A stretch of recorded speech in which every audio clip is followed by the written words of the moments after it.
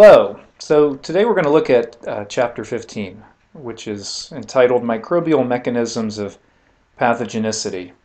Uh, this will be the first part of a three-part uh, lecture on this chapter. Um, and so let's look at the, the title of this chapter, Microbial Mechanisms of Pathogenicity. That's a mouthful. So what does this mean? Essentially, how do microbes uh, create or, or generate illness within their host.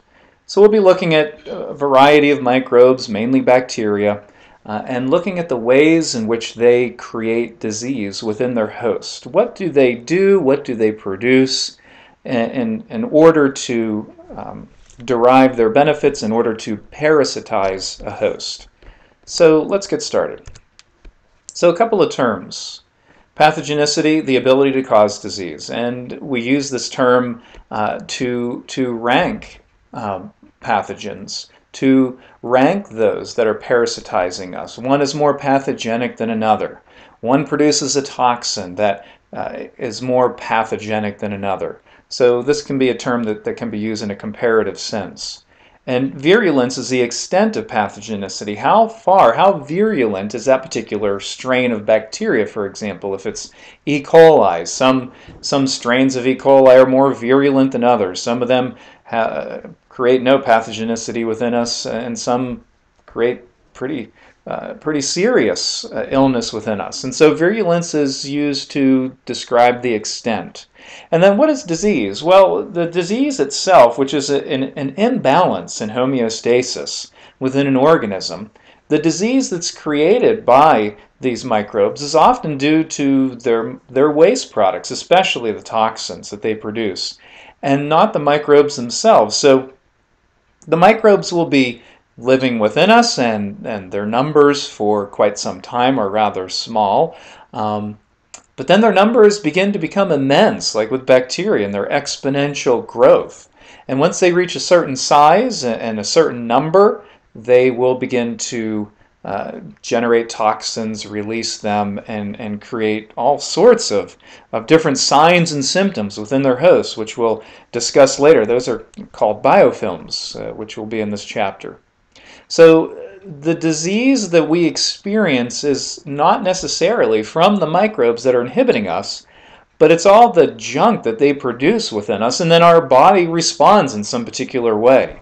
Whether it's it's a, a, a an abundant release of cytokines, which creates inflammation and swelling, and, and, and an allergic response uh, to to a, a deadly point in, in some cases, or it, it causes us to to have violent reactions such as vomiting or uh, copious amounts of diarrhea, for example. Um, it's these toxins that are stimulating and causing our bodies to respond in this way. And it depends on what the toxin is and, and where the toxin is, is tailored to be absorbed uh, into, what cells will take up that toxin, and then the cells will respond accordingly. And we'll be talking about that in this chapter as well.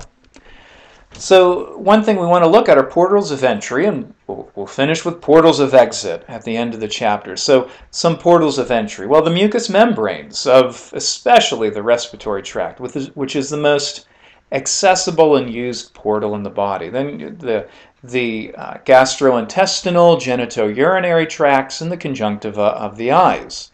So these mucous membranes become uh, a, a very accessible point of entry for microbes, and many of them have cell membrane and cell wall components that will enable them to enter mucous membranes rather easily.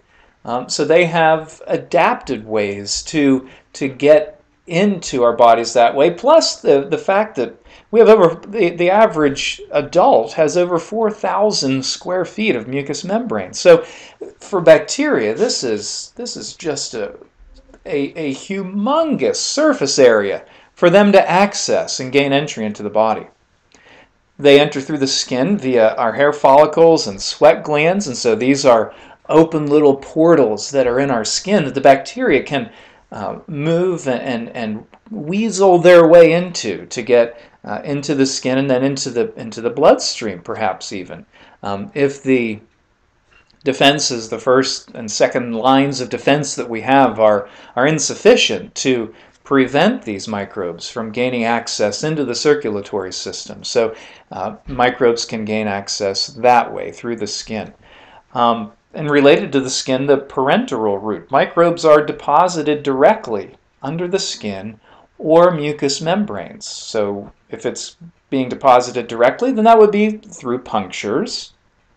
Um, say, like we always associate the rusty nail with tetanus, for example. Um, injections, bites from vectors like mosquitoes, cuts, surgery, etc. So these are all different parenteral routes that microbes can gain access into the body.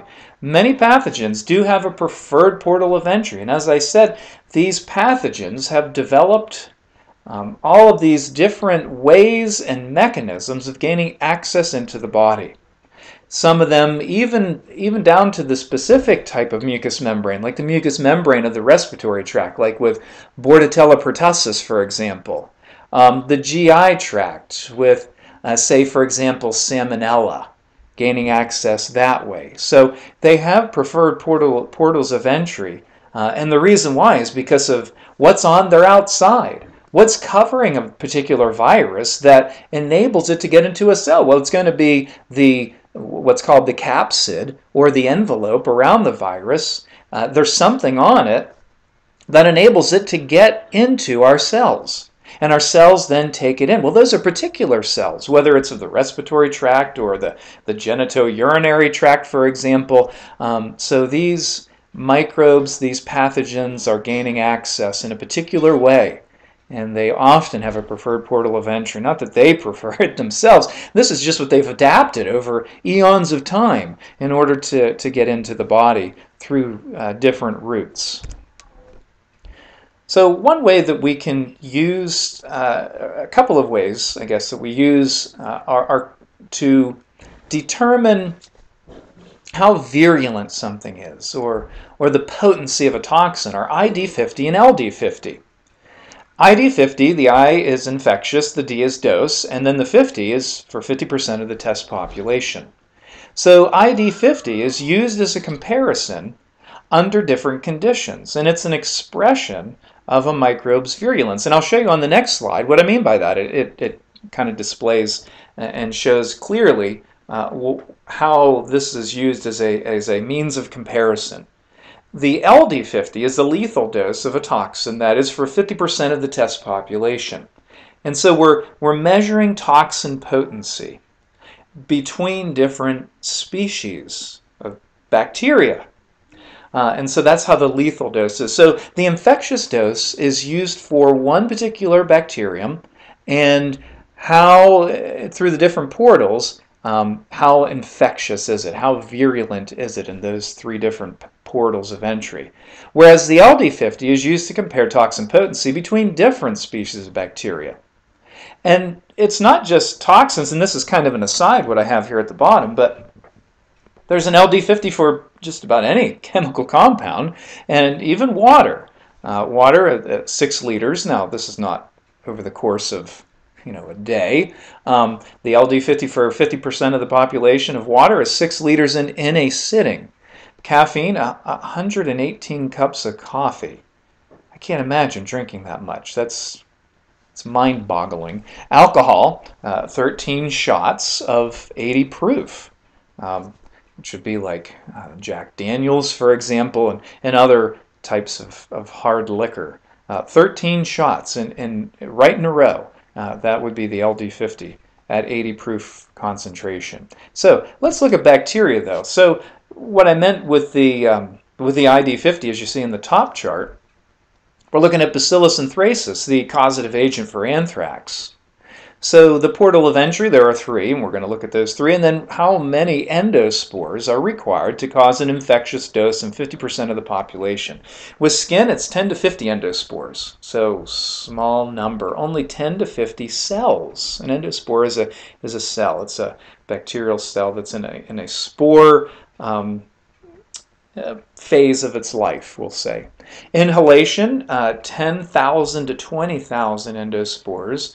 And ingestion, you need quite a pile of them, 250,000 to a million endospores. So Bacillus anthracis, typically, uh, um, we think of it as an, an, inhalational pathogen, which it is. It's highly deadly um, if, if those spores are inhaled, but you need a large number of them uh, to develop an infectious dose for 50% of the population. So where does it appear? It appears in the skin and it's very easily contracted that way. And it's called, by the way, anthracis because of the, the black lesions that form on the skin. And it looks like it, it, it's as black as coal. And so we there, there's a form of coal called anthracite and that's why it's called anthracis uh, because it looks like there's a, a lump of coal in your skin uh, surrounded by redness and inflammation and swelling. You can check out pictures of those online, of course, to see what I'm talking about. But anyway, what does this mean? In other words, what does this chart mean? What is it showing us? Well, it's showing us that cutaneous anthrax is far easier to acquire than inhalational or far more uh, easy, far easier to acquire than gastrointestinal. The bottom one is the LD50 chart. So we're looking at three different toxins, the botulinum toxin, the Shiga toxin, and the staphylococcal toxin. Now the botulinum toxin, lethal dose for 50% of the population. Look how small that is. Three hundredths of a nanogram per kilogram. That, you can't even fathom something that small. The Shiga toxin is very small as well, 250 nanograms per kilogram. And the staphylococcal toxin is 1350 nanograms per kilogram. So the in fact the, the botulinum toxin is the deadliest substance that we know of. There there has been there, there is nothing more toxic than the botulinum toxin on earth. it, it is the most toxic substance on Earth, and it's produced by um, Clostridium botulinum, which is an obligate anaerobic bacterium. The Shiga toxin uh, is produced by E. coli. So when you hear about these E. coli outbreaks, there's a strain of E. coli. It's E. coli 0157H7. And that designation is the, the, the enterotoxic E. coli and it produces a toxin that's called the Shiga toxin. It's named after a Japanese scientist. And uh, it causes severe diarrhea, it can cause dysentery, um, and, and it's, it's a severe toxin on the gastrointestinal system. And the staphylococcal toxin is, is uh, the toxin that is responsible for food poisoning, or a better term, I suppose, would be food intoxication. Um, all three of these create um, violent reactions within the body, uh, even, of course, death, as, as is obvious with the botulinum uh, toxin. So that's ID50 and, and LD50, and hopefully those two charts help you understand that a little more clearly.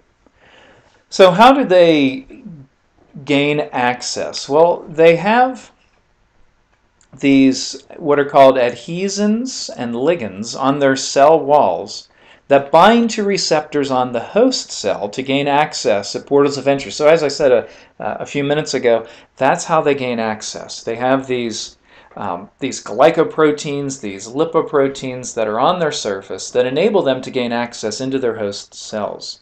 And what do we have on our cells? Carbohydrates. And so those carbs that are sticking up all over the surfaces of our cell membranes are used for a variety of purposes. And they're not supposed to be giving access to these pathogens, but the pathogens have, have adapted these adhesins and ligands to gain access into our cells, and they're using what's on the outside of our cell, carbohydrates, to get in.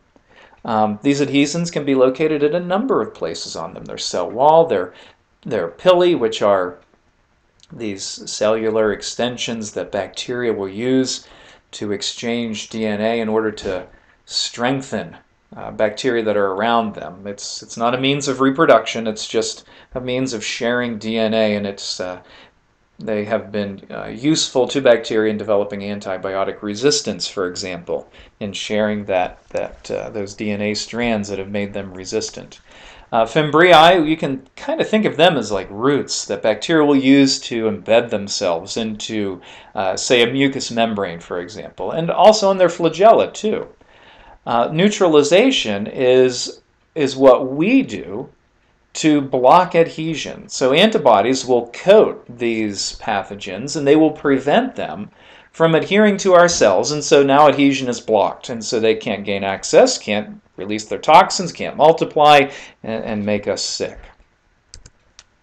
So here's a, a micrograph showing adherence and you can see the bacteria are those little round lumps there. And and so they're growing in these little groups. They're colonizing. Eventually that's going to be covered if it goes unchecked. And you can see the the strands that are sticking out of the, the bases of those lumps of bacteria. Uh, those would be the fimbriae that are rooting the bacteria into this substrate which I assume is most likely a mucous membrane. So biofilms uh, major component of, of this chapter a major um, a major topic of pathogenicity. So what is a biofilm? Well, bio means life, film means it's a it's layers of. So these are masses of microbes that are attached to a surface and it greatly increases pathogenicity. And in about 70% of all infections, there are biofilms. How much it, it increases their pathogenicity by in so many ways. Um, and we'll talk about that. But let's look at what it's made of. So the slime is primarily made of polysaccharides with DNA and proteins that are being shared amongst all the members that are growing within this biofilm. And biofilms can be not just one species of bacteria, in fact, not just one group of life. You can have bacteria, algae, uh, for example, living together in a biofilm. But uh, typically, you know, you have the the bacteria sticking with with them, and but there may be other life forms that are uh, benefiting from the formation of this biofilm. The microbes are connected to each other. They can chemically communicate with each other. They can transfer DNA. They can share nutrients. When they're alone, there's none of this going on. Whenever the cells are by themselves and there aren't any buddies around, they do not carry out these, these cellular processes. It's only when they're in a biofilm that they do this. They have a complex chemical composition, so they start to produce compounds and chemicals that they would never otherwise produce on their own. And so these, these chemicals get produced, released, they bond together, they make this chemi complex chemical soup that the biofilms live in. They're resistant to immune systems, Disinfectants, antibiotics, how much more resistant? About a thousand times more resistant. They become a significant problem on internal medical devices. Patients who receive these medical devices, there's always uh, concern for a biofilm to form on these catheters and stents and mechanical heart valves. You get UTIs, for example. It's the number one hospital-acquired nosocomial infection, or UTIs. Why? Because biofilms form on catheters, usually staphylococcal biofilms. They're problematic on contact lenses as well, so have to be careful with those, making sure that they're being cleaned regularly uh, to prevent the formation of a biofilm and then leading to conjunctivitis or uh, something worse. Some examples, plaque on on our teeth, pool, algae, shower, scum, and floc. Floc is an encouraged biofilm in water treatment facilities in order to break down our waste. Now, all this description, I should mention, of biofilms, it sounds like gloom and doom, like biofilms are the worst. They are enemy number one. And that's not the case. In terms of pathogenicity, yes. I mean, that's this is the number one way that they are pathogenic. But there are biofilms everywhere in nature, and the biofilms are extremely important to, say, for the agricultural industry, but not even man-made things. Biofilms are very important just in, in ecosystems themselves. They create a balance within an ecosystem that is healthy for the ecosystem. So if it's an aquatic ecosystem, there are biofilms everywhere within a pond or a lake or, or an estuary, for example, and those biofilms are beneficial. In, a, in an ecological sense, they are. Um, but remember, this chapter, again, is, is about the bad stuff, pathogenicity. And so that's what we're looking at. But I don't want you to think that biofilms are the worst ever. Um, they're very beneficial in so many other ways, but we're looking at how they create disease. Um, how do we stop biofilms from forming? Because they're a major problem, especially within hospitals, for example. So we can apply antimicrobials to surfaces that will prevent the biofilm from forming in the first place. As you can see in the picture to the right, what's happening there, as I've shown this five-stage process. It's a continual one. I mean, it's it's not that clear cut and delineated, but you start out with a few cells and they start to conglomerate and multiply and divide, uh, and then they begin to produce these chemical compounds that give a three-dimensional shape to it. It's like a high-rise apartment complex where the bacteria are thriving in there and they're protected by the biofilm. Um, now, the, the picture below there with the, those five black and white micrographs, they, they don't really serve justice to. You can't really tell. I guess you can see that it's looking a little thicker as it moves on, but the the um, the schematic at the top kind of gives you an idea of, of what's going on here. And I'll, I'll show you one on the on a, another slide here that, that shows it under microscopy. How the, the three-dimensional form of the biofilm takes shape. Um, which it does, and, and eventually uh, the, the biofilm becomes a, a, community of bacteria, and uh, eventually it gets to the point where it can't support that, the, that many members of the community, and so some bacteria leave, as you can see in that picture there. After number five, they take a trip, and they head out, and they form a new biofilm, and then they all kind of conglomerate together. So applying antimicrobials is going to prevent the the biofilm from even getting past stage one. We can inhibit microbes' ability to in initiate quorum sensing. So what is that? Quorum. A quorum is like when you take a vote and, and the, the votes are registered and then you have a quorum. You have to have a certain number of people, for example, to hold a meeting. And if there aren't enough people there, you can't hold a meeting because the bylaws say you need 100 people, but sorry, there are only 99. So this is what microbes do. They count each other. And, and if we can inhibit this ability for them to count each other and then have an idea of how many microbes are present, they won't begin forming a biofilm. And this was, there was a ton of work done by this, and I'm not sure if she was the discoverer of quorum sensing, but Bonnie Bassler, who um, is at Princeton University, or was, I think she still currently is at Princeton. Um, she did some work on this in the 90s. There's a great TED talk by her, um, and uh, she explains how she discovered quorum sensing in bacteria. She started with a, a marine bacterium and noticed that in uh, small numbers they didn't glow. They, they, they, there was no glowing in the dark, but I don't know if it was by accident, um, but they, whenever the, the bacteria started to multiply and, and divide and reproduce, they, they glowed. Um, and so she started following this and then realized that this could be a way to control bacterial growth. If we inhibit their ability to count each other, to talk to each other, um, that their numbers would stop and their numbers would not increase because they think they're lonely. I'm the only one out here, so I'm just going to. And so then they wouldn't produce their toxins. If they don't realize, and I use that term loosely, if they don't realize that there are other bacteria around them, then they don't release toxins. And she did this in, in mice. She figured out a way to to block their ability. I, I, assume it was through competitive inhibitors, preventing their enzymes from, from, from picking up chemical signals that the other bacteria were trying to send out into the dark. Is anyone out there? Um, and if the receptors did not pick up these uh, chemical signals, then the bacteria just assumed there was nobody there. Um, and as a result, they didn't produce their toxins. And she did she tested this on mice, and she found that when she inhibited the bacteria, uh, when their ability to quorum sense, the mice lived.